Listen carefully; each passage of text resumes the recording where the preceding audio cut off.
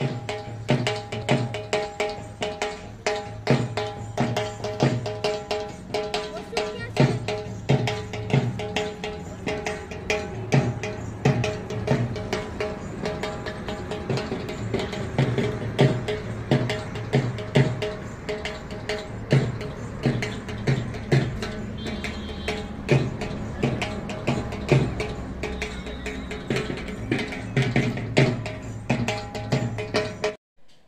अमृतसर से पठानकोट का हमारा ढाई घंटे का सफ़र रहा और उसके बाद नाइट होल्ड हमने पठानकोट में किया और सुबह जल्दी हम डेल हाउसी के लिए निकल गए।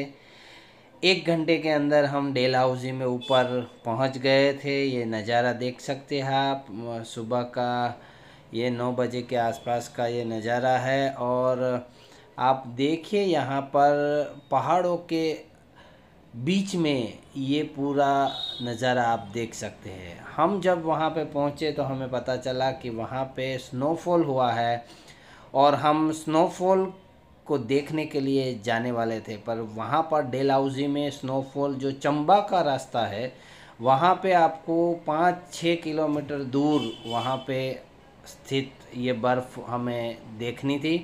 तो आप अगर वहाँ पर डेलाउजी में ऊपर चढ़ते हैं तो वहाँ पे अलग अलग बहुत सारे दो तीन चौक आते हैं, जैसे गांधी चौक आता है और दूसरे एक दो चौक आते हैं। वहाँ से आपको यहाँ तक, यानी कि जो बर्फ़ जहाँ पे गिरी है, वहाँ तक जाने के लिए आपको प्राइवेट व्हीकल आपको अलाउड नहीं होता है, क्योंकि जब बर्फ़ ज़्यादा हो जाती है तो स्नोफॉल में आपका प्राइवेट व्हीकल नहीं चलता तो जिप्सी आपको हायर करनी पड़ती है। और जिप्सी का चार्ज वहाँ पे सीज़न के हिसाब से होता है। तो आप सीज़न के हिसाब से वो जिप्सी हायर करके जा सकते हैं। लेकिन हमारा किस्मत अच्छा था कि हमें एक किलोमीटर के अंदर ही ये स्नोफॉल देखने को मिला और हमें उसका पूरा फ़ायदा मिला। तो कुल मिला के यहाँ देखा जाए तो ये बच्चों के साथ देखिए स्नोफॉल का कितना बड़ा इंजॉय कर रहे हैं सब बच्चे और बहुत अच्छा बर्फ़बारी वहाँ पर हुआ था तो ये उसका लाभ हमें भी मिल गया।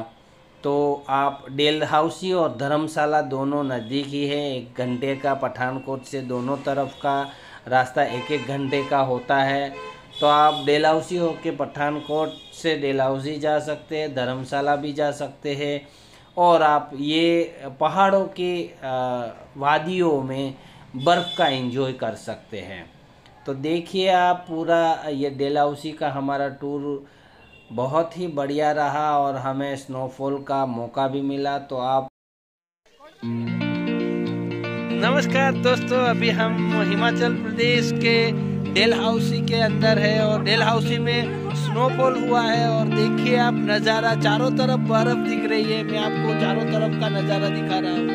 ये देखिए काफ़ी अच्छा स्नोफॉल हुआ है। चारों तरफ़ बर्फ़ ही बर्फ़ है और बर्फ़ के बीच में हम यहाँ पे खड़े हैं। आप देख सकते हैं पूरा नज़ारा, काफ़ी बढ़िया नज़ारा यहाँ हमारा ये सफ़र का रहा। देखिए आप। बहुत बढ़िया नज़ारा है यहाँ पे देखे बच्चे भी इंजॉय कर रहे हैं।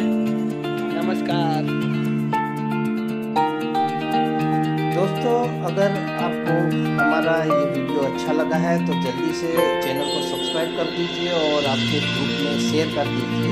Thank you